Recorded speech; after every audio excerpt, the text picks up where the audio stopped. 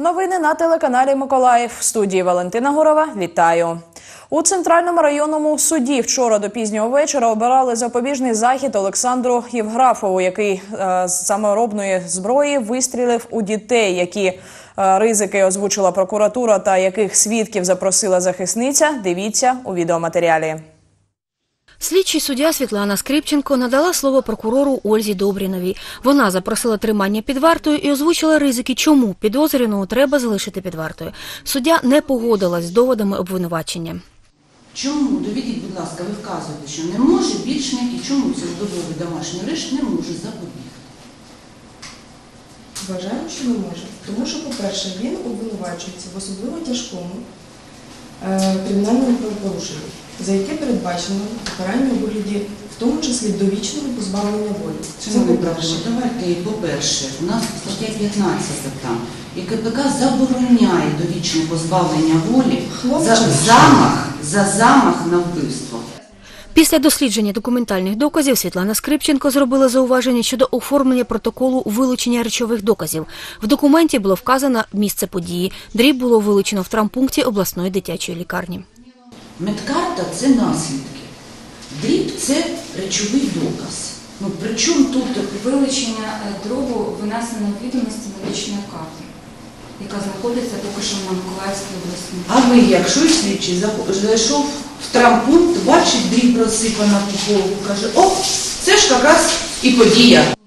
Прокуратура назвала це технічною помилкою. Інші претензії судді стосувались того, що обшуки на місце події та в помешканні підозрюваного були проведені без передбаченої законом відеофіксації. Сторона захисту, адвокат Інна Кузьміних, заявила клопотання про допит трьох свідків, які дали характеристику Олександру Євграфову. Ними виявилися матері двох потерпілих дітей та сусідка підозрюваного. В яких стосунках ви перебуваєте з підозрюваним? Дядю Сашу знаю я вже років 13. Давайте так, неприязні у вас до нього немає? Немає. І ви не тримаєте зла нього, так? Не тримаю, звісно, яке ж я можу зло тримати. Може, і не хотів, так вийшло. Ну що ж я можу сказати? На момент засідання родина Венгер отримала від підозрюваного 10 тисяч гривень відшкодування, а родина Хан – 18 тисяч. Далі були дебати. Обрання збільшення форми міри запобіжного заходу обміну тримання під вартою не забезпечить належної поведінки, процесуальної поведінки підозрюваного Євграфова, а також не зможе запобігти ризикам, які були е, оголошені В клопотанні про застосування запобіжного заходу е, сторона обвинувачення жодного потерпілого не визнала. Е, Нема жодної постанови про визнання потерпілих. Ну, дітей точно не буде потерпілими батьків, не визнано потерпілими. Заява прийнята від сусідів. Я Извиняюсь скоєно, це перед сусідями 100%. Це встановлю як всі матеріальні збитки. І прошу вас, ну, примінити до мене ну, більш таки менші запобіжні заходи, чим просить прокурор.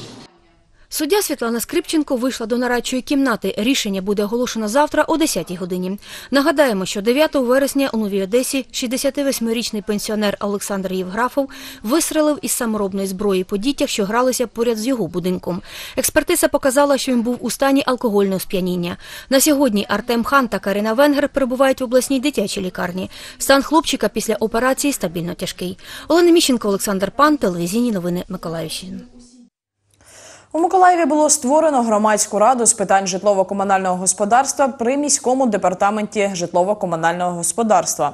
До неї увійшли 15 експертів, представників ОСББ, громадських організацій, підприємств міста. Е, Головною головою ради обрано Олександра Юлевіча, керівника Миколаївської обласної організації роботодавців підприємств житлово-комунальної галузі Житло Миколаїв.